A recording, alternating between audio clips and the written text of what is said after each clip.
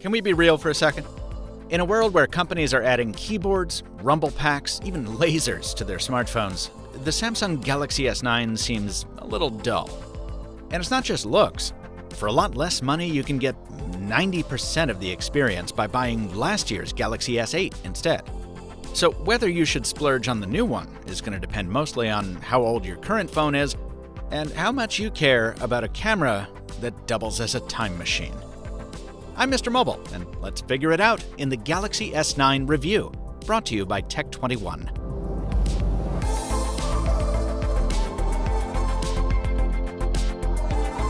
If you've ever said, don't fix what ain't broken, and meant it, well, the Galaxy S9 is the phone for you. Glass and metal, water resistant design, a bright, color accurate display with curved sides and narrow bezels, convenient features like dual mode wireless charging and a headphone jack, inconvenient features like a Bixby Assistant button right next to the volume rocker, and yes, top shelf specs befitting a top tier phone. Look, it's not just jaded tech reviewers tired of the same old, same old. This really is a minor step up from the S8. Before we hit the big stuff, though, I do want to call out my favorite minor fix. The fingerprint sensor isn't just better positioned than last year, it learns your fingerprint faster than anything else out there.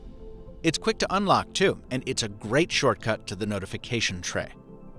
The alternative login option, uh, iris scanning with a fallback to face unlock, is speedy for now. I like it, but I worry it'll slow down over time as it did on the S8 and Note 8.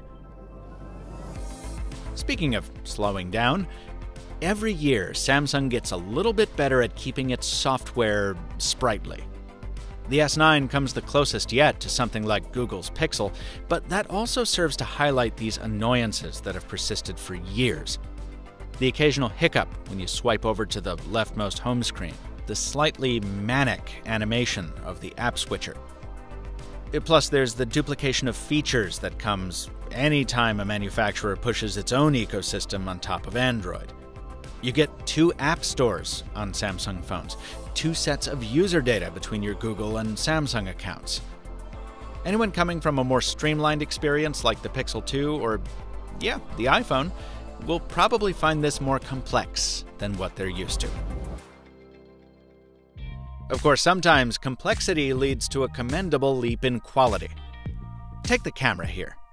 I only had access to the S9 Plus for this review, but the primary cameras between the two sizes are the same. The only thing the Plus adds is this secondary shooter with a telephoto lens. A word on that it's supposed to give you higher quality zoom, but it only works in favorable lighting, because its sensor still isn't as good as the main cameras. So the upshot is that when you press the zoom button, the phone often does not use the telephoto camera at all because it can get a better shot by cropping the main sensor's image instead. This is the same way the iPhone handles things. So if you really want the smaller S9, you should worry more about the battery life you're sacrificing than losing that second lens. I'll come back to that in a second. First, how about that primary camera? You've got to give Samsung's engineers credit here. It's the only modern smartphone shooter with a variable aperture. Aperture is like your camera's pupil, okay? It's the opening that allows light to hit the sensor, and Samsung gave this camera the widest aperture you can find on a phone. That means at night, the S9 can pull in more light than most of the competition. And once it puts the captured image through some processing, it can put out some very nice low light photos. Now, here's the clever part. Because you don't always want an aperture that big, the S9 uses mechanical shutter blades to physically obscure the outer portion of the lens in brighter settings, stopping it down from f1.5 to f2.4. The result is a camera suitable for day or night, and I've taken a few shots I'm quite happy with. So, will the S9 be replacing the Google Pixel 2 I keep in my other pocket? Mm, no. See, what Google's camera lacks in fancy hardware, it makes up for with incredible processing. And shooting side by side with the S9, most of the time I preferred the Pixel 2's pics. Yes, it oversaturates a bit in daylight shots, but in low light or situations with weird lighting, like in a bar or my studio, it was Google's phone that kept things sharper, the colors closer to authentic. while the Galaxy S9 was more likely to produce a soft shot that ran way warm. And that's true on the selfie side, too. Samsung seems to have spent more effort on AR emoji and other cutesy cruft than on making any meaningful improvements to the front facing camera. And side note, if you've ever wondered how raggedy you can look after a week in Barcelona and eight hours scripting a review, mm, here you go. But the S9 punches back against the Pixel with raw hardware power that you just can't find on last year's phones.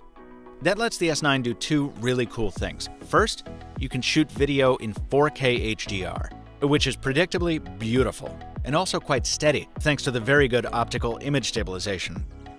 And secondly, if you really want your brain blown, swipe on over to Super Slow Mo, hit that toggle, and welcome to Warp Zone.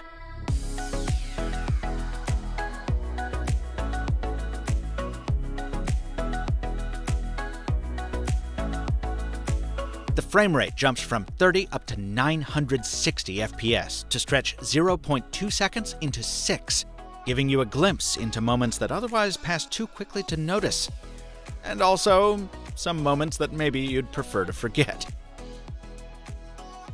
Now, there's caveats galore with this. You need an awful lot of light for it to work, the focus is finicky, and you're limited to 720p resolution. That leaves room for Sony to catch up later in the year, but Samsung's is so far the only one with a motion activated trigger mode.